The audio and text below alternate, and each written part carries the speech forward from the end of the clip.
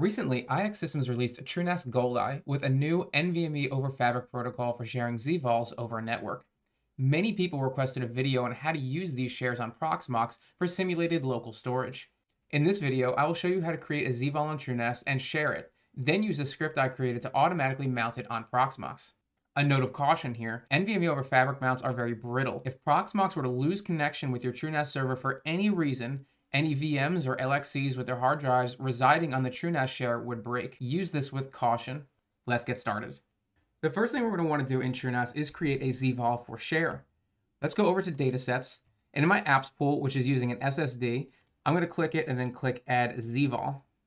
I'm going to give this a name. I'm just going to call it Proxmox. I'm just going to give it 10 gigabytes. You guys are probably going to want to give it much more if you're storing virtual hard drives or LXCs on it.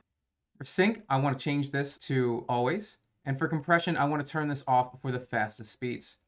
Click Save. Now I can see my Proxmox ZVol listed in my datasets. Now let's turn this into a share. Go over to Shares, and for NVMe over Fabrics, click Add. The subsystem name, I'm just going to call this Proxmox. For namespace, I want to click Add and find the ZVol I just created. Click Save. Now click Next. For ports, I do want to add a port. I'm going to click the first line, which is TCP and ends in 4420.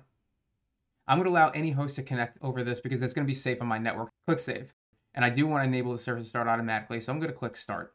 In the very bottom right, I should now see my systems running and my new Proxmox share listed. Now let's jump over to Proxmox. What I'm going to want to do is go into my PVE and then click my shell. From here, I'm going to want to run a one-line command to pull the script down from GitHub. I'm going to include this command in the video description. Paste it into your shell and hit enter. It's now going to ask you the IP of your TrueNAS server, in my case, minus 1099.0.200. Hit enter. It's going to install the NVMe CLI tool. And in the very bottom now, it asks me to select my target. So this shows me a list of available NVMe over Fabric targets. There's only one listed here, so I'm just going to hit one. Now it's asking me to create a ZFS pool name. It has found the NVMe share, and it needs to mount it as a ZFS pool onto Proxmox. So I'm going to give this a name of NVMe pool. It has now created and mounted my NVMe pool as a ZFS pool onto Proxmox.